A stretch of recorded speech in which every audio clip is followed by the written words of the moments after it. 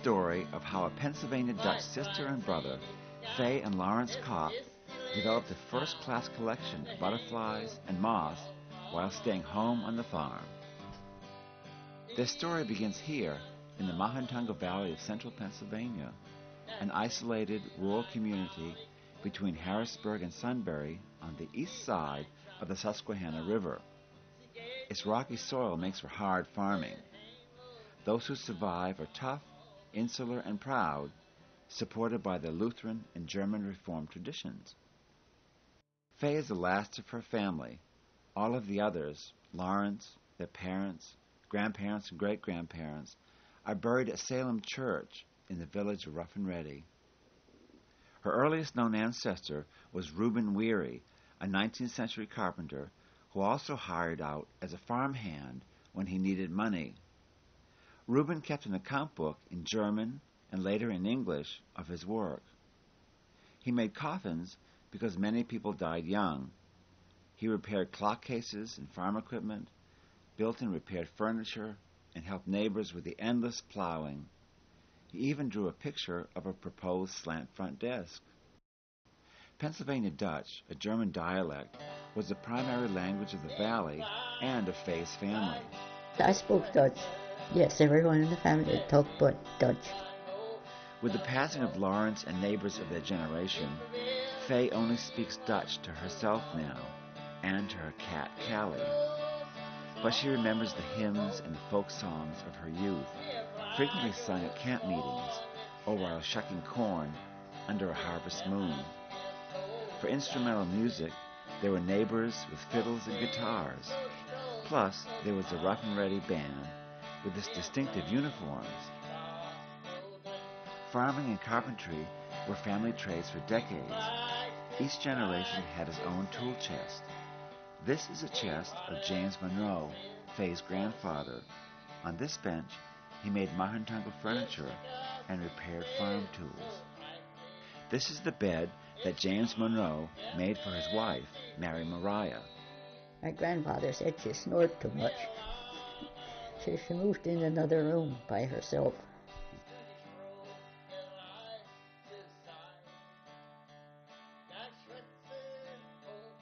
Well, he put the steeple up all by himself. He also helped to build the church, inside and outside.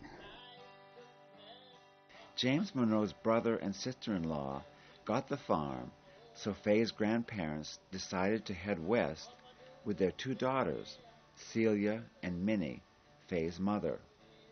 Well, he worked in the lumber camps. And the mother and grandmother took in washing and sewing for the people who worked there.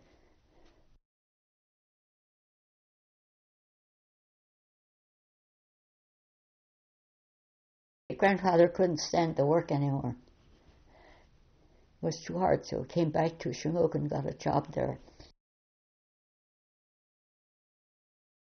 Grandfather's brother and his wife took care of grandmother, great grandmother. And when she died, they got sick too. So grandfather and grandmother and mother moved back here again. At that time, the farm was primarily in apple orchards. In the winter, Faye's grandfather made baskets for apples, potatoes, laundry, and other uses. The women did the gardening and fed the hogs and chickens. They made apple butter and soap. Yes, she made a wood fire under the kettle. She boiled it three times, yes. Faye grated the soap to make chips used on wash day. Lawrence carried the water, and Mother and I washed it. Canning was also a major chore. She usually made 500 quarts in a year. All kinds of fruit, pumpkin, applesauce. The family supplemented what they made and raised by going to the general store over in Rough and Ready, a mile and a half across the fields. One day, Faye's father, Joseph, walked to the store three times because being colorblind, he kept getting the wrong fabric for his wife Minnie. There was also a traveling peddler who routinely came to the farm and sold goods and notions from his horse-drawn wagon. Joseph Kopp came from the next valley north, and a village optimistically named Gowen City.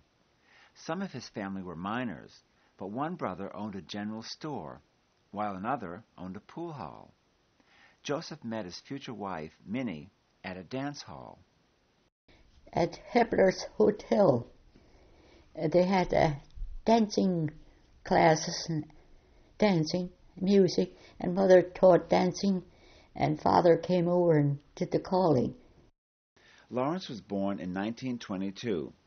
Faye, shown here with her grandparents James Monroe and Mary Mariah, was born in 1924. As a girl, their mother Minnie had attended Stein's, a one-room schoolhouse a mile away and across the creek. Faye and Lawrence later attended the same school, and it wasn't until going to school that they learned English. As the older sibling, Lawrence was very protective of his sister, who showed the shyness still retained today. He stood up for Faye, even to their teacher. Yes, I don't know what I did, but she told me to put my hands out, and she was going to hit me with the ruler. And Lawrence saw it, and he quickly ran to my seat and grabbed the ruler out of her hands and broke it in half and gave it back to the teacher. It was during the eighth grade that Faye's talent at drawing was noticed by her new teacher. He said I was very talented in art. Wanted me sent me to art school, Bloomsburg College. It was back then. He even offered to pay my way, but Dad didn't like that.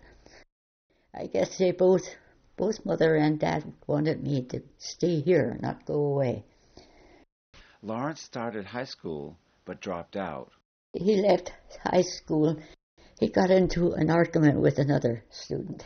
I don't know what the argument was about, but Lawrence told him he was never coming back to school anymore.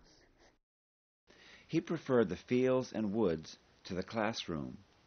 He took up hunting, a long family tradition, rabbits, pheasants, and squirrels, which helped provide Faye's school lunch. Had rabbit and uh, butter sandwich. Lawrence and his father plowed over the orchards to make tillable fields, and the two of them began farming. The family also began raising turkeys and building large sheds for the birds. Joseph started doing carpentry work at several area collieries and did construction work with his father-in-law, James Monroe. They built a lot of houses around here in the valley and over in the other valley, Bellevue and Higgins. Meanwhile, Lawrence took up trapping. In one month, he caught 32 foxes, 18 skunks, and 11 raccoons. Lawrence sold the skins and had some turned into wraps, which he also sold. To supplement his trapping income, he began photographing himself trapping and wrote accompanying articles, which he sold to periodicals like Pennsylvania Game News. Often his articles appeared in an issue with a cover illustrated by Ned Smith, and the two men knew each other. He wrote, Everything about nature, trapping mostly. How to trap fox and how to trap a skunk, a weasel,